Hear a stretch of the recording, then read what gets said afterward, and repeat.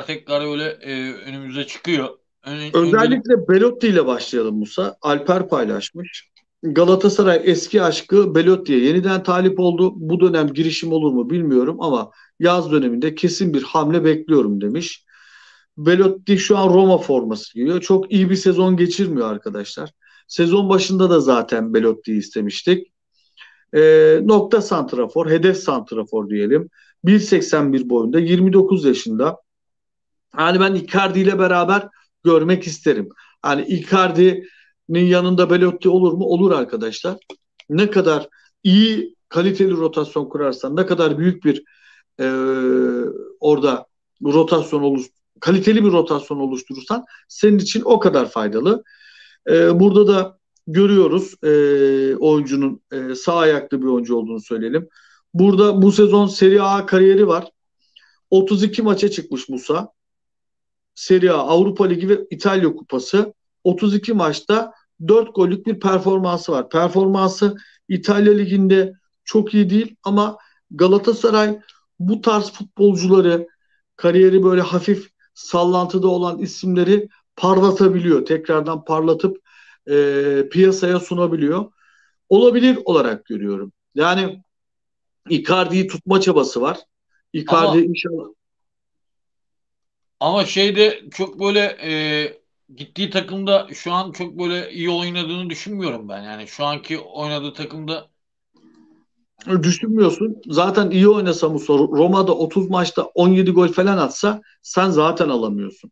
Icardi'yi de bu şekilde aldı. Yani Icardi'yi de işte bazı davranışlar davranışsal e, problemleri olduğu için Icardi transfer edebildi. Belotti'ye de gidebilirsin. Ama benim duyduğum e, iki tane isim daha var Musa Santrafor pozisyonu için. Bir tanesi e, Musa Dembele senin e, adaşın. Diğeri de e, Hacı Wright. Hacı Wright için açıkçası sezon sonu tekrardan girişimler olacak.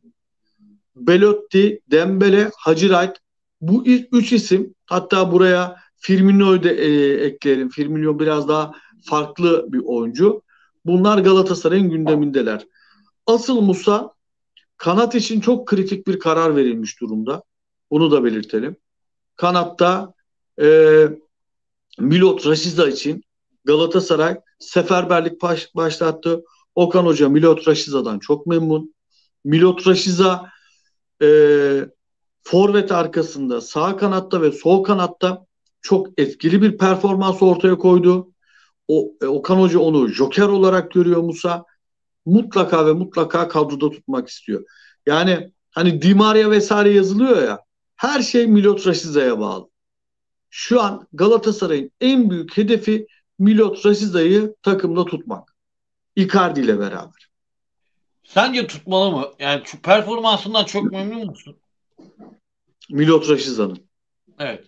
Sen değil misin Musa Milot Rasiza'nın performansında? Şimdi beni linç mi edilmeye çalışıyorsun? Son bir iki hafta haricinde e, gidip git gel yaşayan bir performansı var bence. Musa bir sakatlık geçirdi. Bir hastalandı. Tamam mı bak? Bir sakatlık geçirdi bir de hastalandı. Bir böyle bir iki maç sendeledi.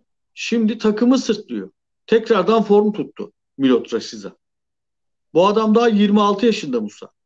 Galatasaray'ın 5,5-6 milyon euro bonservis verip tutmak gibi bir niyeti var. 17 maç 2 gol 4 asist. Bu 17 maça bakıyorsun ya Musa. Bu 17 maçın 17'si de ilk 11 değil bu arada Musa.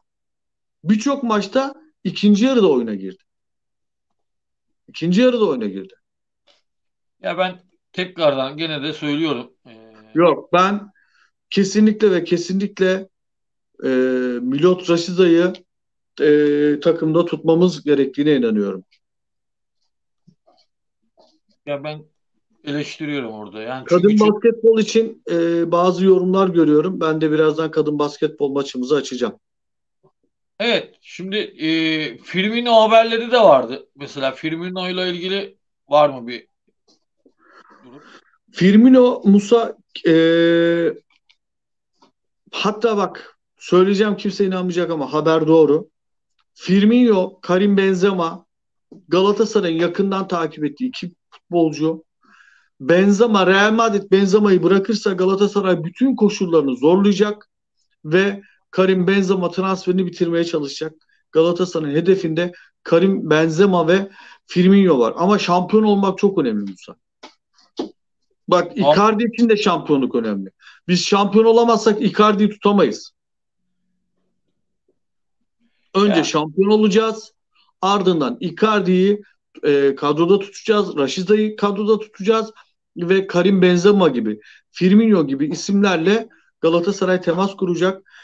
E, Adama Traore, Milot Raşiza'ya bağlı. Kanat transferi Kerem Aktürkoğlu, Milot Raşiza gibi isimlere bağlı arkadaşlar. Kanadı söyleyeyim.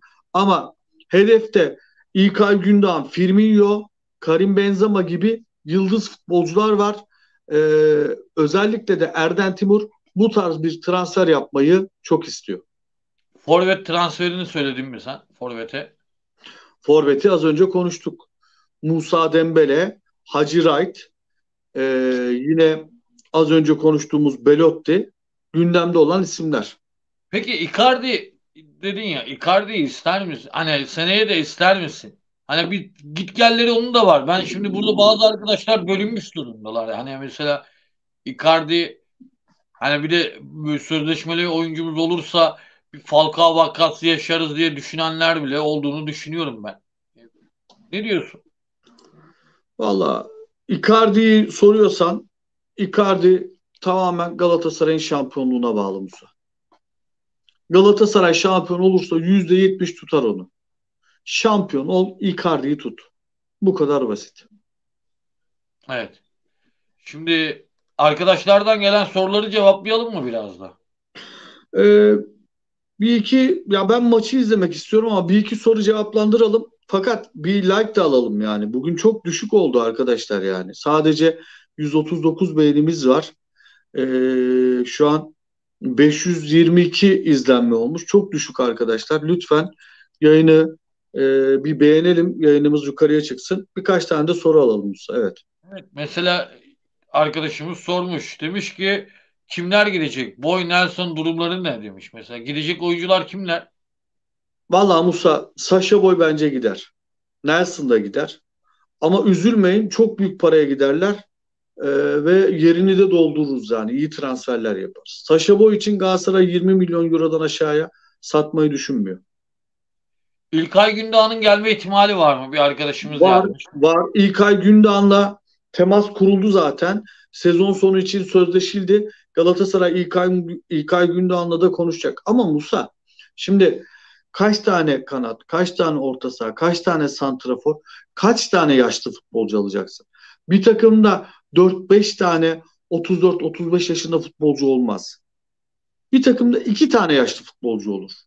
İşte ne vardı bize mesela? Mata Mertens vardı değil mi? 34-35.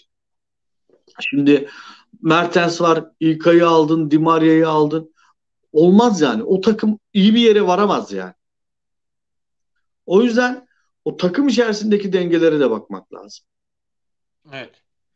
Şimdi hangi maç diye sana sormuşlar. Ee, maç hangi kanal veriyor? Kadınlar basketbol maçımız arkadaşlar. Hangi kanal veriyor?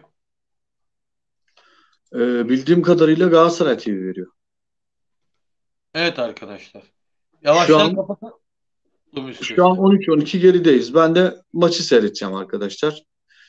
Ee, evet kapatalım Musa. Sana teşekkür ediyorum. İzleyenlerimize teşekkür ediyorum. Yarın yine yayınlar kaldığımız yerden devam edecek arkadaşlar. Ee, bir ricam var. Facebook hesabı olanlar Facebook'a girip Eyüp Yıldız Facebook sayfasına beğenirlerse bakın kişisel hesabım var oraya arkadaşlık gönderiyorsunuz onu kabul ediyorum zaten ama sayfayı beğenip e, abone olurlarsa çok mutlu olurum. Sizleri çok seviyorum. Kendinize iyi bakın. Hoşçakalın. 11'de görüşmek üzere. Hoşçakalın.